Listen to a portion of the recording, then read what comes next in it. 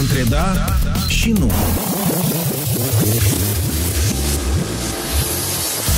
Invitați, întrebări, răspunsuri. Între da și nu.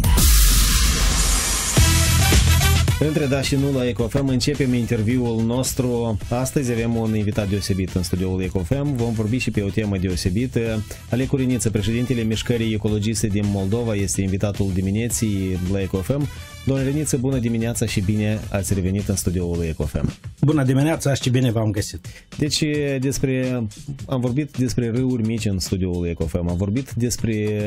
uh, fluviul Nistru, dar despre Prut am uh,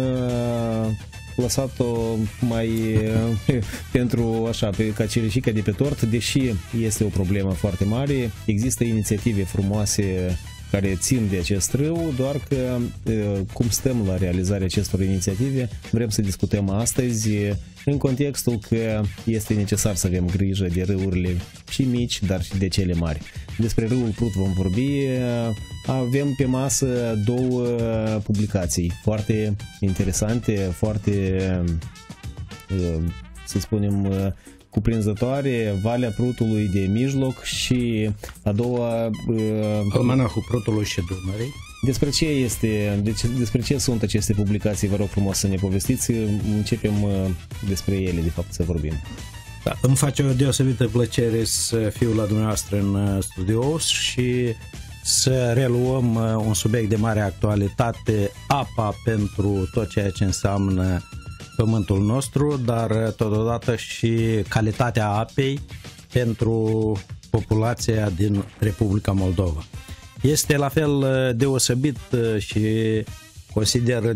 important să reluăm un subiect pe care noi l-am lansat odată cu apariția primilor semne de libertate și democrație după anii 90, când noi, de fapt, am descoperit un lucru pe care îl știam, că râul Prut, ca și fluviul Dunărea, de fapt, au fost scoase din conștiința colectivă a românilor basarabeni și aceste râuri au fost trecute la un azil al Uniunii Sovietice sau am putea spune chiar mai mult într-un exil pentru ca ele să nu figureze în uh, tot, tot ce a însemnat uh, ființa națională a basarabenilor. Din ce considerente acest lucru s-a întâmplat, uh, chiar încă marele Zamfir Arbure, care a scos primul dicționar geografic al Basarabiei, vorbea la sfârșitul secolului XIX că Imperiul Țarist nu vrea ca popoarele să-și cunoască rădăcinile și în acest context ei șterg nu numai niște relații între neamuri, între oameni, dar șterg și denumiri de râuri, de locuri, de nume de familie și așa mai departe. Și el vorbea în dicționarul din 1904 că trebuie să readucem și de fapt asta a făcut uh, să readucă în memoria colectivă uh, râurile noastre care niciodată nu au fost uh, râuri de frontieră și se referea la Prut și la Dunăre și în felul ăsta arăta că acestea sunt parte din toată istoria noastră, parte din creația populară, dacă ne referim la folclor, și parte din uh, conștiința noastră de-a lungul secolilor, fiindcă Dunărea care trece uh, pe o lungime de peste o mie de kilometri uh, mai sus de Cazane, de la Drobeta Turnul Severin, încă 150 de kilometri spre vest și până în delta Dunării la Sulina, deci ea este parte la crearea ființei și a sufletului românesc. Iar Prutul, care este un afluent uh, sub 1000 de kilometri, care izvorește, cum spunea uh, același Zamfir Arbure din uh, Carpații Basarabiei, el la fel a fost expulzat din memoria colectivă. De aceea, pentru noi a fost foarte important să ne lămurim cum a fost reflectat, de exemplu, în sufletul nostru aceste două râuri, Prutul și Dunărea, și în, din aceste considerente întâi am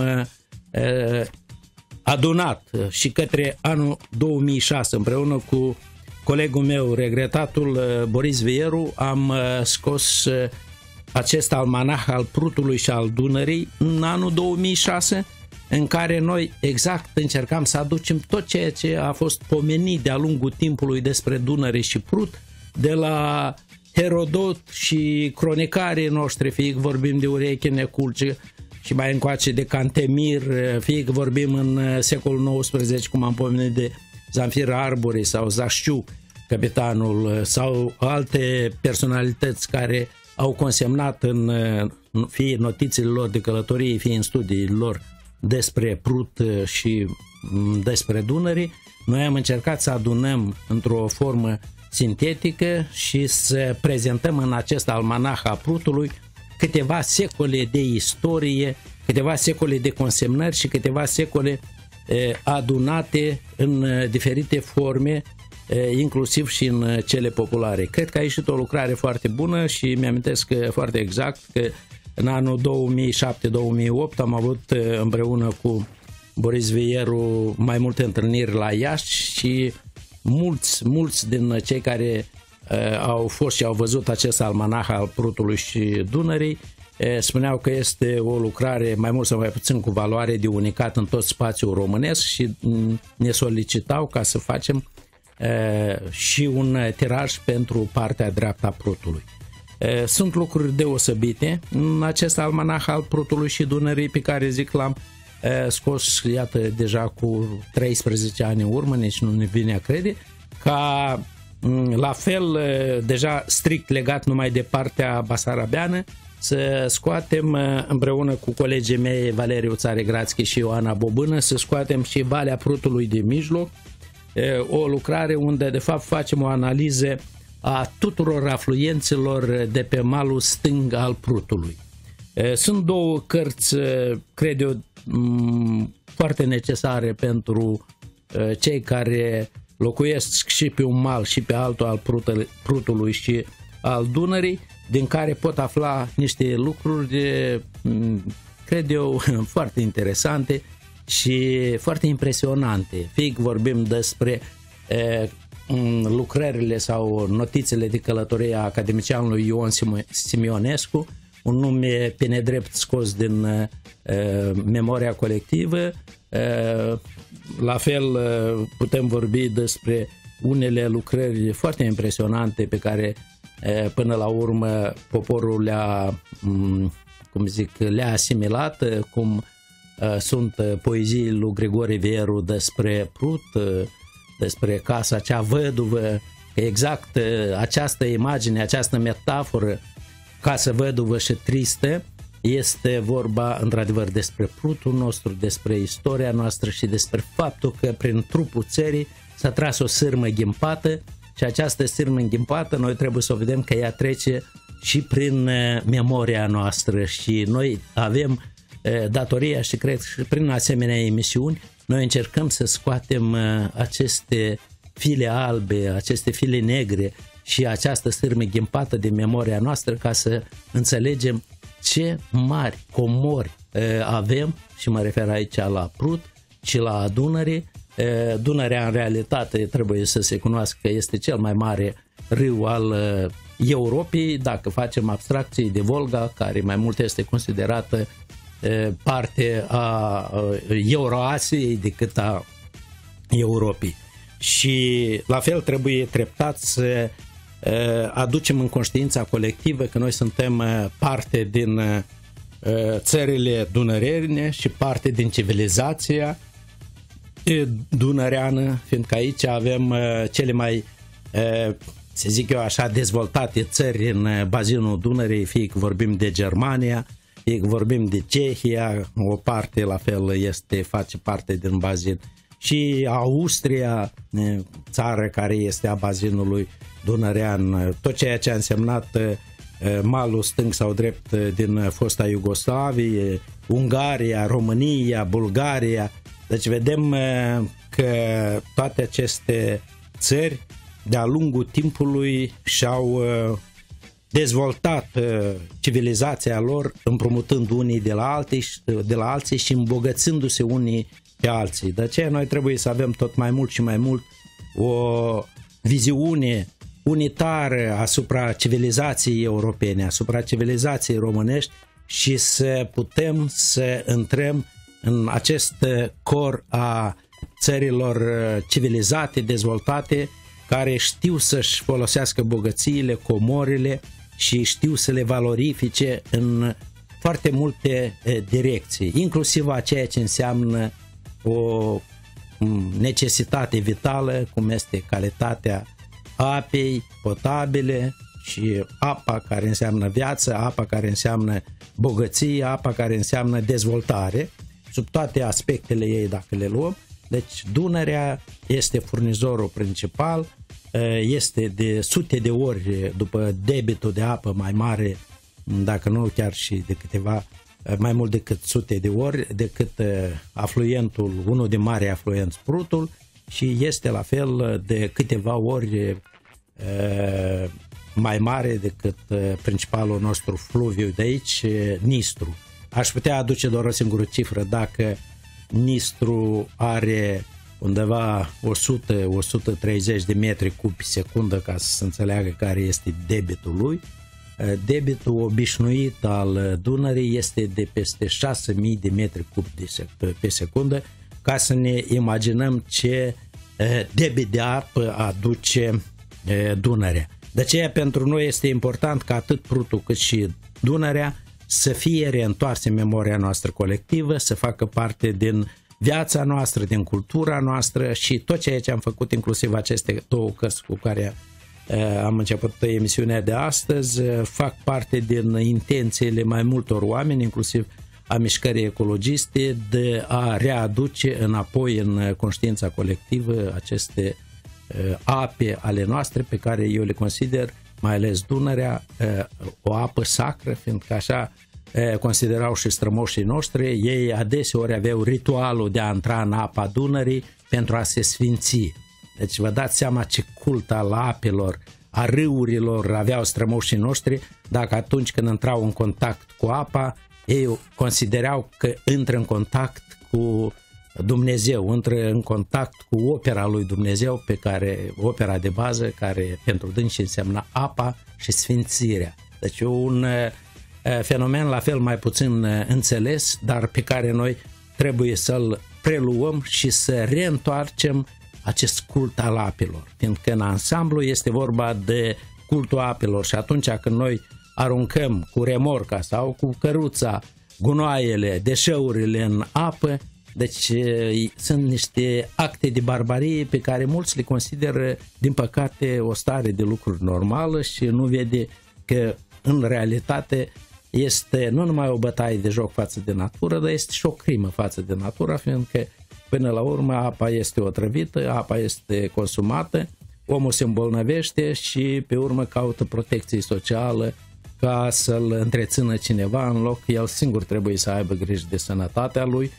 Și când zic să aibă grijă de sănătatea lui, mă refer să aibă grijă de ape, de soluri, de pădure, de tot ceea ce îl înconjoară și ca să poată să trăiască bine, sănătos, frumos și să nu fie un om care s-a autocalicit. Într-adevăr, cultul apei, dar și semnificația istorică și spirituală a râului Prut ne aduce la faptul că ar trebui să acționăm astfel cum au acționat și strămoșii noștri cu râul Dunărea, fluviul Dunărea. Atunci când oricine nu ar fi utilizator a acelui râu, chiar dacă se află pe un afluent al Dunării, oricum conștientizează și acționează astfel încât să fie prieten bun cu natura. Crearea celor parcuri naționale pe fluviul Dunărea și despre anume despre posibilitatea creierii unui parc național pe râul Prut, pe teritoriul Republicii Moldova, dar și a României, cât de posibil este? Da, este o idee foarte interesantă, este o idee care face parte dintr-un vis al meu mi-amintesc, dacă nu mă înșel, în 87 sau 88, când au apărut primele posibilități de a aduce cuvântul liber în spațiu public. Am publicat atunci în săptămânalul Literatura și Arta, care era practic cel mai important săptămânal din Republica Moldova și în 88-89 a ajuns tribuna Mișcării de Eliberare Națională. Am publicat fiindcă deja simțeam că prutul își va pierde haina de sârmă ghimpată, dar la fel simțeam că dacă o să fie scoasă această sârmă ghimpată, tot ceea ce însemna frontiera artificială dintre Uniunea Sovietică și România, deci o să-și piardă din tot ceea ce a însemnat natura neatinsă, fiindcă dincolo de sârma ghimpată, practic, cu excepția unor e, cazuri mult mai rare de vânători a primilor secretari de partid pe e, spațiul dintre oglinda prutului de, și sârma ghimpată, totul era foarte bine conservat. E, este poate singurul lucru care l-au făcut bun timp de o jumătate de secol ocupanței atunci când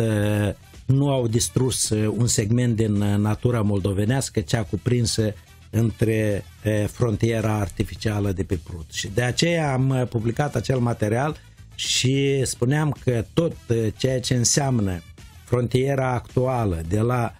Criva și până la Giurgiulești trebuie să capete statut de rezervație naturală, de parc natural, fiindcă în acest mod eh, noi am fi avut eh, peste 700 de kilometri practic o fâșie eh, care ar fi însemnat un coridor al vieții, un coridor al biodiversității, un filtru uriaș pentru toți poluanții care se, se duc spre Prut și Prutul și-ar fi păstrat parte din hai să zic eu, curățenia lui, parte din uh, frumusețea lui neatinsă, fiindcă adeseori uh, oamenii când li se da uh, câteva, mm, hai să zic eu, posibilități să se bucure de resursele naturale, ei se grăbesc din lăcomie, din egoism, rapid să le degradeze, dacă nu chiar să le distrugă definitiv. Și atunci vedem zone întregi pustiite care au fost până mai ieri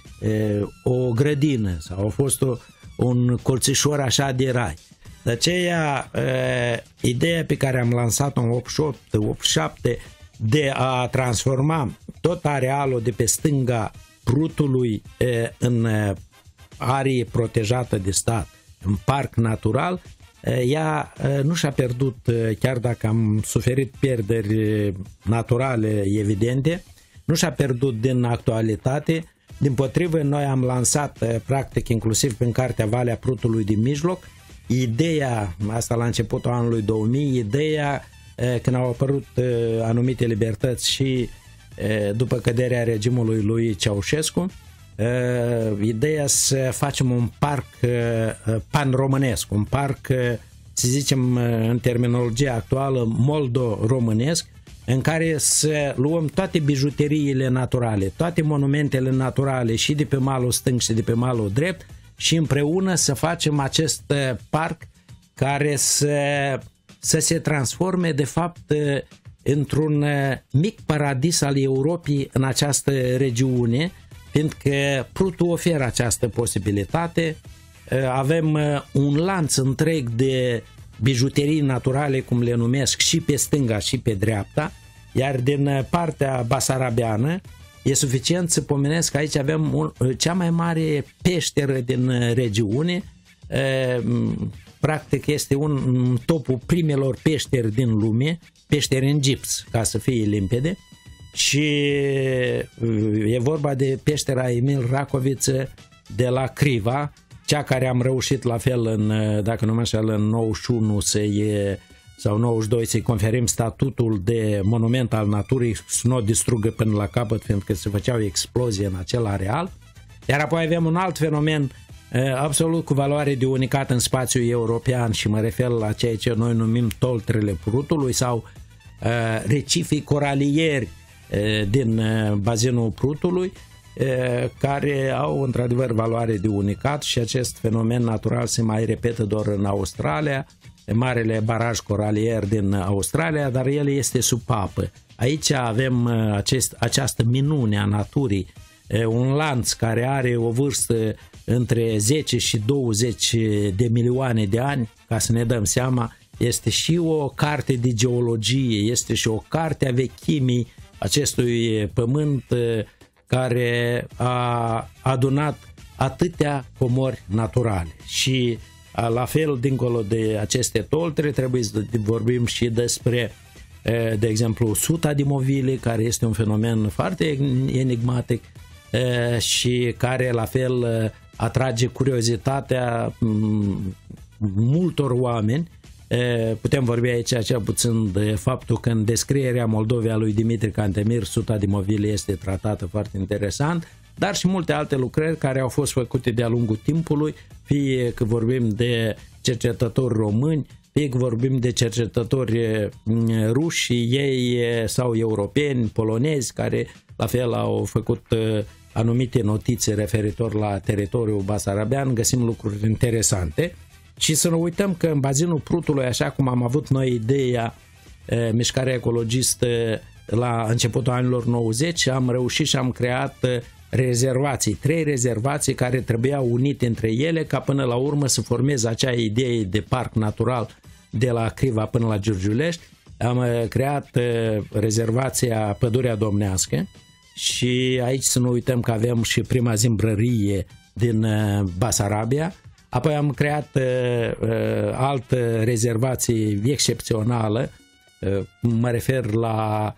blocul de vânătoare care era primului secretar Bodiul și mă refer la rezervația pădurea uh, Plaiofagului, din care cuprinde un teritoriu de la Ungheni până Călăraș, zona respectivă. Și a treia rezervație care am reușit și am creat-o după declarația de independență a fost uh, Prutul de jos, uh,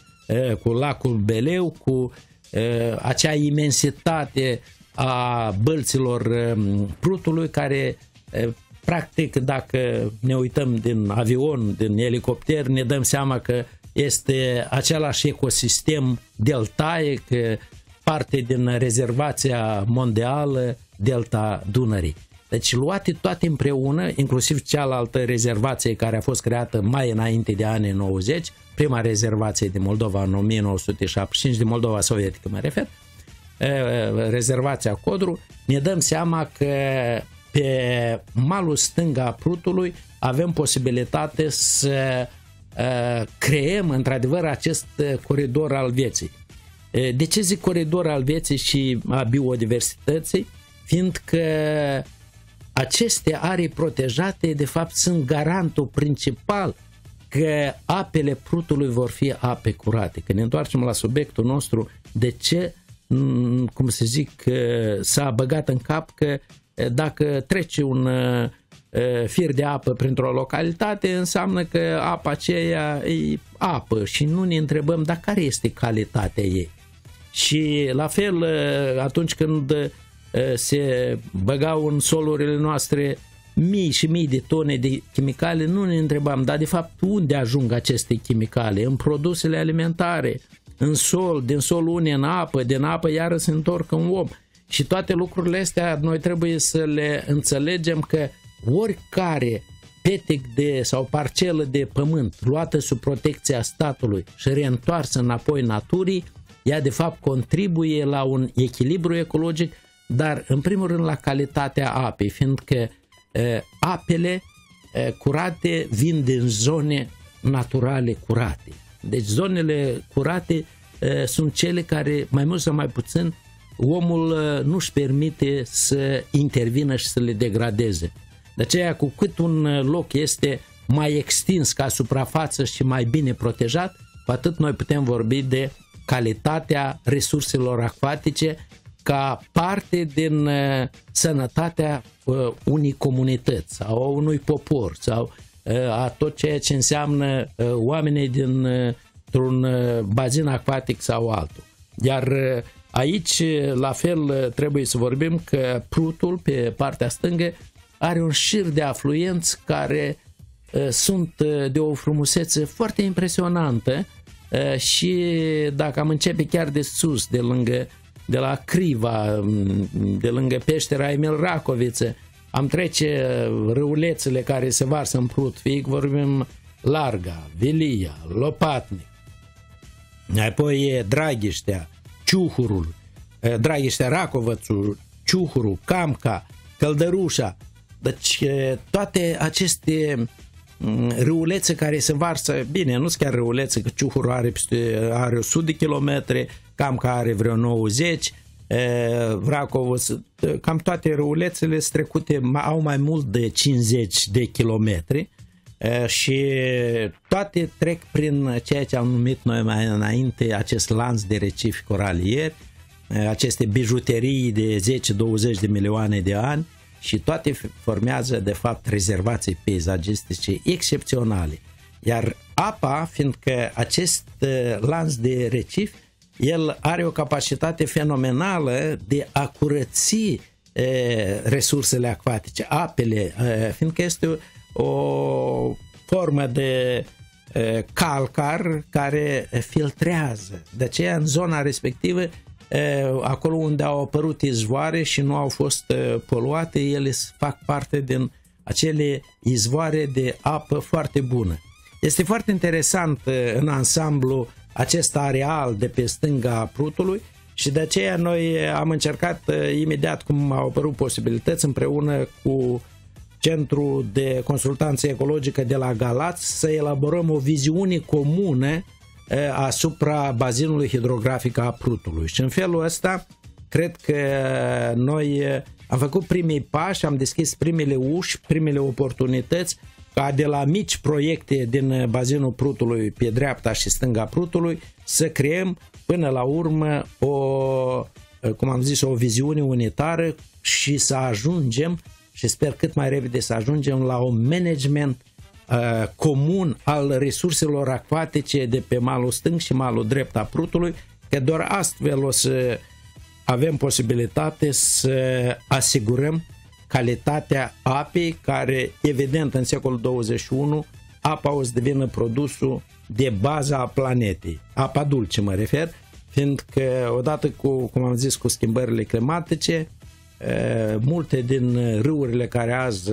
mai șerpuiesc pe harta Moldovei și a Europei, ele pur și simplu vor dispărea, fiindcă se vor împuțina resursele acvatice și doar cei care o să aibă priceperea, înțelepciunea ca să-și acopere o parte din teritoriu cu vegetație, cu păduri,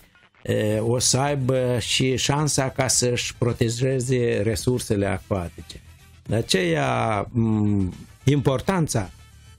bazinului hidrografic a Prutului va crește considerabil, după cum va crește și a tot ceea ce înseamnă bazinul fluviului Dunărea, fiindcă Prutul este parte din Dunăre. Și cred că Ceea ce vorbeam noi de o viziune unitară asupra Prutului va fi o viziune unitară de la izvoarele Dunării, de la Pădurea Neagră și până la Delta ca să cuprindă aceste foarte multe suprafețe din atâtea țări ca să ne garanteze tuturor că o să avem în secolul 21 și mileniul 3 o să avem o cană de apă, fiindcă, în primul rând, atât Dunărea cât Prutul, Nistru, râurile mici trebuie să le vedem ca o sursă de viață, o sursă de veșnicie. Altfel, noi nu o să avem șanse să supraviețuim în această grădină pe care ne-a dat-o Domnul și pe care noi, din păcate, o tot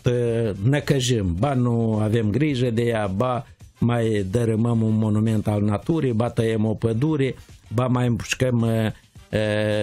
diferite specii ca până la urmă să ne trezim că trebuie să aducem zimbri din nou în Moldova, deci zimbri care erau foarte prezenți și dacă ne-am uitat am vedea de la un an la altul o creștere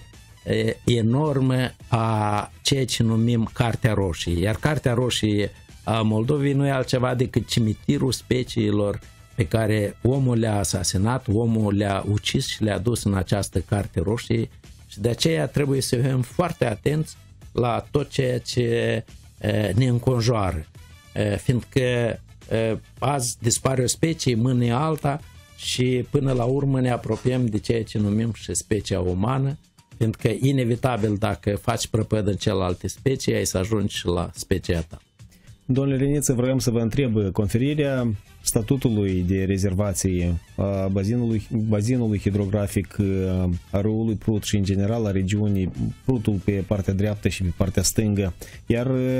asigura o gestionare mai durabilă și a râurilor mici care sunt afluenții râului Prut, fie că este vorba despre partea malul stâng al Prutului, fie că este vorba despre malul drept al Prutului, dacă acest statut uh, sau uh, potențialul conferirii acestui statut uh, ar schimba cumva atitudinea față de gestionarea acelor râulețe mici care de fapt sunt foarte poluate în localitățile noastre. Da, este foarte importantă această abordare, fiindcă râulețele sunt garantul calității apei, fiindcă dacă un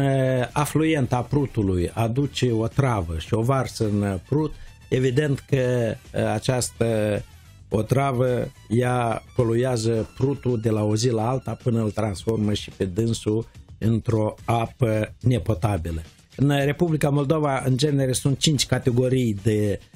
uh, evaluare a calității apei și prima, a doua și relativ a treia ar fi e, niște ape care e, au un grad de poluare cât de cât tolerant. Iar categoriile 4 și 5 deja sunt ape foarte poluate sau ape total otrăvite. Și trebuie să spun aici o chestie foarte tristă că practic râurile mici a Republicii Moldova se încadrează în categoria 5 și uneori 4. Deci foarte poluate și otrăvite. Doar Nistru și Prutu au între în categoria 2 și 3 poluat și așa mai mult decât poluat. Sau răulețele care nu au apă pe timp de vară, nu poluează de Da, fapt. da, da și unele care în genere au fost cum zic secate definitiv. Și atunci este limpede că noi trebuie să avem grijă și să ne amintim că Republica Moldova are peste 3500 de râuri, râulețe care au mai mult de 8 km un fir de apă, ca așa să se face evaluarea lor. Și calitatea lor este decisivă în calitatea apei e, prutului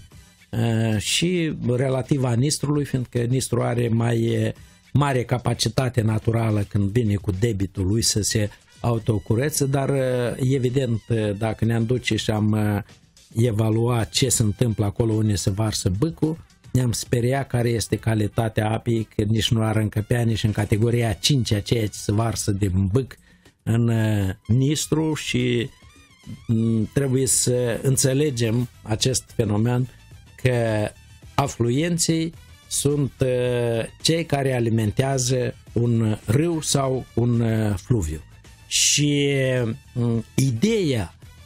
nu este o idee a noastră, este un model de fapt european. Ideea de a crea comitete bazinale și subbazinale, de fapt este cea care vine să administreze într-un mod civilizat un bazin acvatic. Fie că vorbim de mici ape, fie că vorbim de mai mari, pentru că Nistru și Prutul intră în categoria districtilor de administrare, iar râuri cum este Răutul sau cum este Bâcu sau Camca sau Ciuhuru, ele intră deja în bazine, au consilii bazinale sau altele care sunt mai mici, consilii subbazinale. Deci care este ideea ca să se înțeleagă foarte limpede pentru toți, fiindcă e o idee relativ nouă, deși a fost foarte bine testat în secolul, în a doua jumătate a secolului 20 în Europa și a dat rezultate și dă rezultate extraordinare, este că toate localitățile care locuiesc în bazinul unui râu, deci ele sunt prezente la procesul de administrare a râului. De exemplu, acum sunt primei pași avansați făcuți pe râul Camca, și colegul nostru Valeriu Țare Grațchi, un veteran a mișcării ecologiste din Moldova, el este unul din cei care încearcă să implementeze în practică această veche idee de a avea toți grijă de un râu. Fiindcă, în fond, comitetul bazinal înseamnă a avea toți. Fiindcă dacă avem 10 sau 15 sate care se află pe un mal sau altul, a Draghiștii sau a Racovățului sau a Camcăi sau a cutare și cutare râu și un sat face curățenie, are grijă, plantează, iar altul duce tot gunoiul și îl aruncă și mai ales dacă este mai sus decât celălalt râu, atunci noi ne trezim că râul acela, cu toată dragostea unui sat, a oamenilor, el este otrăvit și în felul ăsta demoralizează lumea care are grijă față de lumea care își bate joc de un râu. De aceea, acest comitet bazinal adună uh, reprezentanți din toate localitățile, fie că 10, 15, 20 și ei se adună și discută în primul rând cum pot face bine râului și nu rău. Pentru că atunci când trântești un complex animalier și toate deșeurile le dai drumul în primul fir de apă, rezultatele sunt dezastruoase. Și aceste comitete bazinale încep să creeze planul de management, iar acest plan de management cuprinde, e un plan complex, deci cuprinde toate componentele, și, și economic, și social, și ecologic, și cultural, și ceea ce am vorbit mai înainte de arei protejate. Și atunci toți de sus până, adică de la izvoare și până la vărsare a râului, ei se gândesc cum să îmbunătățim starea acestui bazin hidrografic. Și atunci când ei plantează, de exemplu, o perdea de protecție, așa cum a făcut recent mișcarea ecologistă la mm, Orheiul Vechi și de la un pod până la altul a creat această plantație, o, cum zic, o, o acțiune de mare importanță ca exemplu făcută de către specialiști, făcută de firmă specializată, nu-i pur și simplu... tuturor normelor de absolut, plantare. Fiindcă noi adeseori am participat de zeci de ori la plantări voluntare, dar când facem o evaluare după 3, 4, 5 ani, vedem că nu găsim arbori acolo unde am plantat. S-au uscat, s-au dat drumul și au pășunat acolo localitățile și n-a rămas nimic. Ei, așa s-a făcut, așa se încearcă acum să meargă și pe râul Camca, deci încearcă și acolo să planteze, să scoată din circuit acele obiective care poluează sau să le modernizeze, fiindcă ceea ce este foarte important, trebuie să înțelegem că adeseori e suficient să modernizăm o linie tehnologică și ea nu mai aruncă acele deșeuri uriașe, pentru că chiar ceea ce înseamnă și aceste mari cariere din nord-vestul Republicii sau din bazinul exact a Prutului de mijloc, fie că vorbim de Berlinț, de Fetești, de Brânzeni, toate aceste cariere sunt locuri foarte pitorești, fiindcă ei extrag din aceste toltre, de fapt, pietrele, piatra asta și au făcut prăpăd în jurul lor. Deci ele pot fi extrase fără să strici peisajul,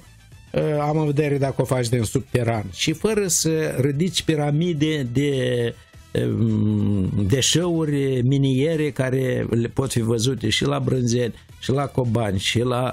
Berlin, și peste tot unde au apărut aceste cariere în perioada sovietică. De aceea, mm, aceste comitete bazinale sunt uh, instrumentul cel mai eficient pentru ziua de azi și mai ales pentru ziua de mâine. De aceea noi facem acest îndemn neîntrerupt și încercăm să creăm cu toată comunitatea neguvernamentală de mediu și aici nu pot să nu pomenesc de uh, acest model adus de fapt din Europa de către agențiile de dezvoltare austriacă și elvețiană care au făcut foarte mult bine la o sumedenie de comunități de aici din Republica Moldova dar le-au uh, au mers cu ape, duct cu apă și așa mai departe și ei totuși au mers și mai departe că au, au zis să-i ajutăm pe moldoveni să-și schimbă mentalitatea, să-i ajutăm pe moldoveni să-și schimbe uh, atitudinea față de ape și să ne întoarcem de fapt de ceea ce am vorbit mai la început, că strămoșii noștri au avut un cult față de apă și niciodată nu și-au bătut joc de izvoare, de fântâni și de râuri. Ei, acest lucru s-a produs în, în perioada sovietică, această atitudine batjocoritoare atunci a căpătat, hai să zic eu, dimensiuni colective, pentru că dacă era un individ care scuipa în izvor, era sigur că satul îl expulza din comunitate, fiindcă nu putea să se producă în masă asemenea lucruri. Dar vedem că în a doua jumătate a secolului 20 lucrul ăsta a căpătat dimensiuni pur și simplu catastrofale și în acest context credem că aceste comitete bazinale încurajate din uh, experiența europeană, din aceste agenții de dezvoltare pe care le-am pomenit, austriacă, elvețiană, uh, și suedezii la fel susțin prin alte programe uh, acest model să devină parte din mintea oamenilor, parte din planul de administrare și parte din felul de a fi a comunităților. Asta este foarte important. Într-adevăr, aceste comitete bazinale, fie că este vorba despre râuri mici, care, comitete care sunt concentrate pe localitățile lor, nu este nevoie să mergi la râul, la lacul Manta, de exemplu, sau să mergi pentru a-i da o stare de sănătate normală, pentru a evita acele secări pe perioadele secetoase, să acționăm în, de la izvorul râului, astfel încât pentru, să evităm, pentru că avem planuri de gestionare a bazinelor hidrografice, fie că e vorba de râul Prut, fie că este vorba despre fluviul Nistru, însă ne amintim de aceste râuri doar atunci când există pericole de sistare a aprovizionării cu apă și de starea de calitate a apei. Doar atunci își aduc aminte. Dacă se va acționa la izvoare, vom avea și apă calitativă în fie că este vorba despre fluviul Nistru, de exemplu, sau în râul Prut. Da, exact, exact. Lucrul ăsta e tot legat unul de altul, adică nu poate să se producă încă o dată, zic, o chestie bună într-o singură localitate. Pentru că noi avem într-adevăr mulți sufletiști într-o zonă sau în alta, așa cum am vorbit, de exemplu, pe râul Camca, acolo sunt doritori mulți, dar e suficient, de exemplu, dacă acolo sunt 15 sate pe un mal și altul a râului Camca, două sate de sus, de exemplu, se polueze și le strică toată bucuria și dorința de a face ceva mai jos. Și această unitate a oamenilor, această voință comună de sus, de la izvoare și până la vărsarea în alt râu sau în mare, deci numai astfel o să ne dea posibilitate să-i responsabilizăm, că de fapt e un proces dincolo de toate modalitățile de administra, este un proces de responsabilizare. Și atunci nu mai vii tu pe furiș cu sacul cu gunoi sau nu mai vii tu cu remorca la 2-3 de noapte și ai vărsat-o în râu și a doua zi o faci pe e, nemulțumitul că e, copiii ți bolnave autoritățile nu fac nimic autoritățile nu fac nimic și așa mai departe pentru că noi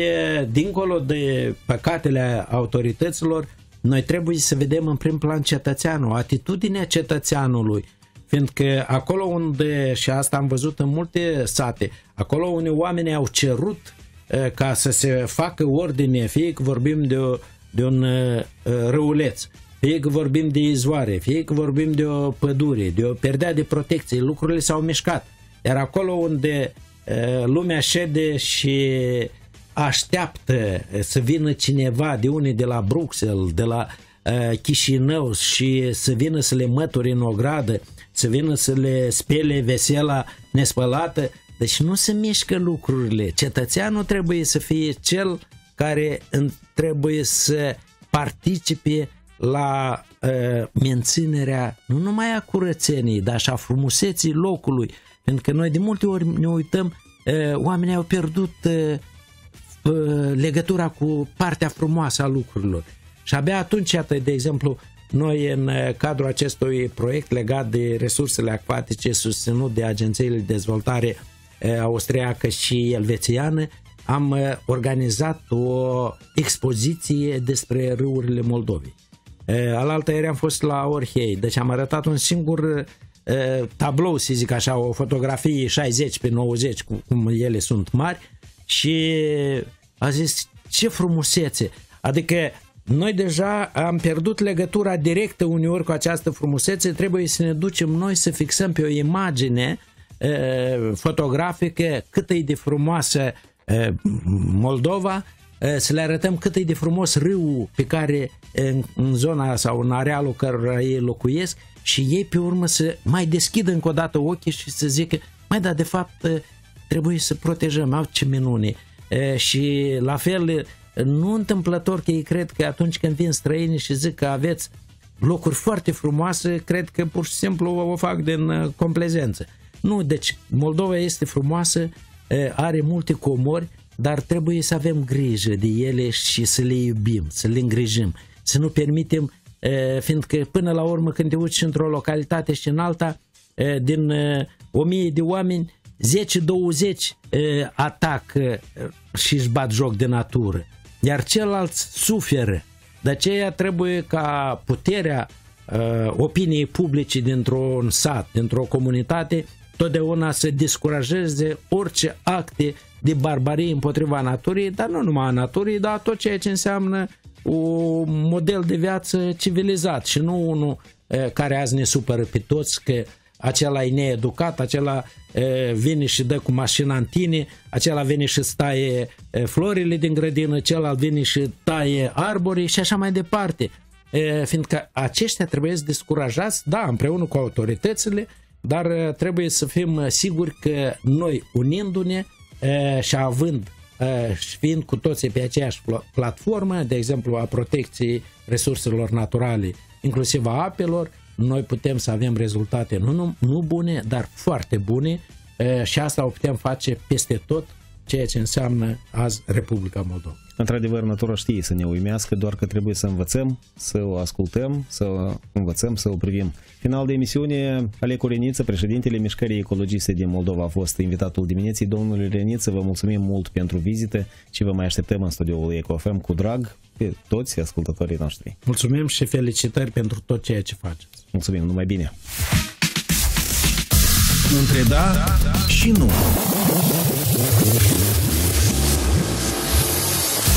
Invitați, întrebări, răspunsuri.